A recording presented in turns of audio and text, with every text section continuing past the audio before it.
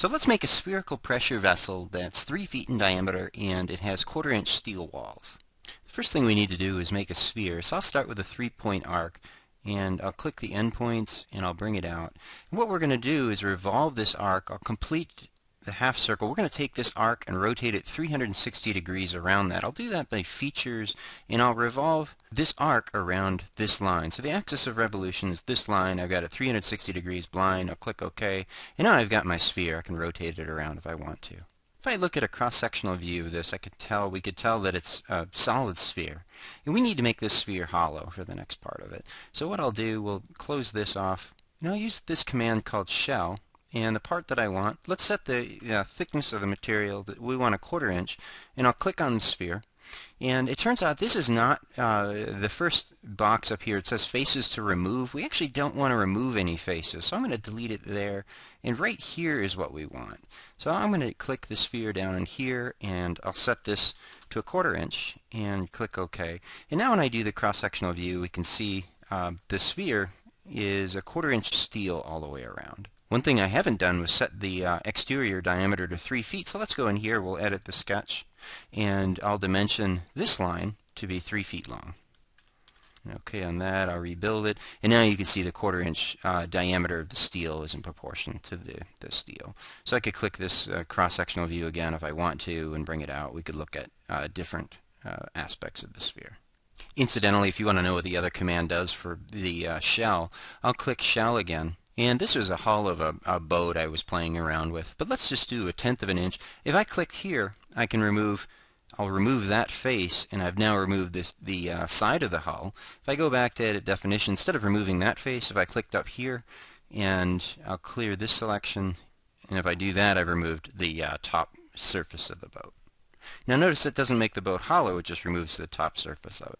But if I wanted to, I could delete that, and uh, I'll just choose this down in this multi-thickness setting, and I'll click OK on that. It looks like nothing's happened, but again, I can do a cross-sectional view on it, and we could see into the uh, interior of the boat. It didn't remove any of the, the external, external material, but it did make it hollow.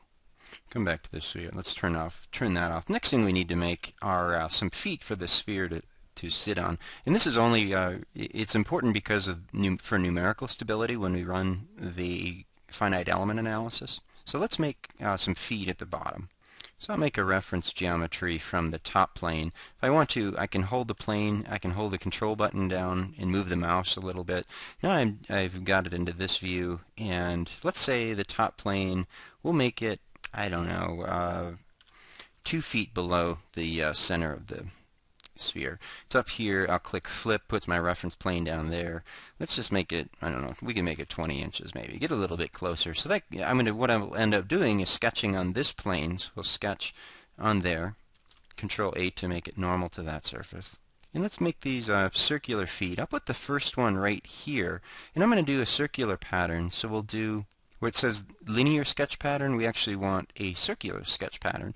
So I'm going to take that circle, uh, where it's set right now, I'm going to do it 360 degrees. Let's make 6 to make it a nice even number, I guess. Click OK on that. I've got the six different things. Now I'm going to go Features. I'll extrude these. And we're going to go from the sketch plane, and instead of doing it blind, where you set the, uh, the distance for the extrude, we will orient the sphere with the feet down below it. We'll go, we'll click up to next. And what that does is it automatically senses the next surface above it. And now I'm, I'm generating my legs. I'll click OK on that. And now I've got the uh, six legs. If we wanted to, we could look, do a cross-sectional view of this. And the legs themselves, they, uh, they are solid members. So what we'll end up doing, we'll run the finite element analysis by pressurizing the inside of this vessel and uh, see what happens. The material here, let's uh, make it, we'll make it alloy steel. And I'll get rid of that cross-sectional view so we can get a good look at everything. So now that we've got everything configured, we'll do another static study. And let's start by fixing the feet of our sphere. So I'll just do a fixed geometry on all six of these faces. Next thing we need is an external load. Let's do a pressure. And one of the things, it's hard, we can't select the face. Like, where do we want to apply the pressure? This would be an example of atmospheric pressure pushing inward on the sphere. We can't get at it from this view. So let's go to the cross-sectional view. We'll open it up. That allows us to select the interior of it. So I'll go, uh, I'll apply a pressure to the inside of the sphere. Now when I zoom around, we can see the, uh, the arrow is actually acting throughout the inside inner walls of the sphere. Let's do PSI. I have no, I guess I don't have a really good feel. Let's try a thousand PSI inside this vessel. We'll see if it's going to explode or not. And we'll click OK on that. I think that's all we need. Let's run it and see if it works. Yep, here it goes. So we could see that the sphere, it suggested it this is an exaggerated view, but the sphere got bigger. It pushed all of these uh, hinges out. Of course, it's quite a bit exaggerated, but we'll do results and define factor of safety plot. We'll do it for everything and click OK there. And now go chart options. Let's do on the low end, the low factor of safety, let's just set a low end of 0 and the upper end of 2. Anything beyond 2 will be uh, fine with us. And I'll do floating no significant figures. I'm going to do a user-defined profile with 3. And the low end, low factor of safety, uh, signals a red value that we, we're, being in, we're in trouble. And then I'll do blue for anything that's uh, safe, anything above uh, 2. So I'll dial this back there. Notice on the right-hand side, my factor of safety running from 0 to 2. Presently, everything has a factor of safety over 2.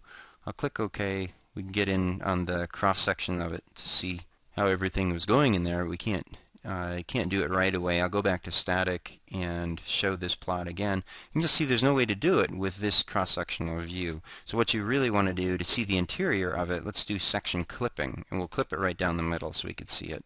And the factor of safety in the interior of the vessel looks about the same as the exterior of it. So let's try this. We'll jack the pressure up.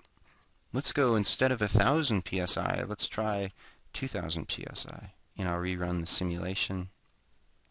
So the factor of safety now, we're starting to come down from 2, we're approaching 1 in some of these areas. Now I've just increased the pressure to 3000 psi and naturally we're getting uh, more, uh, the factor of safety is becoming less, smaller and smaller and here we're, we're looking below 1.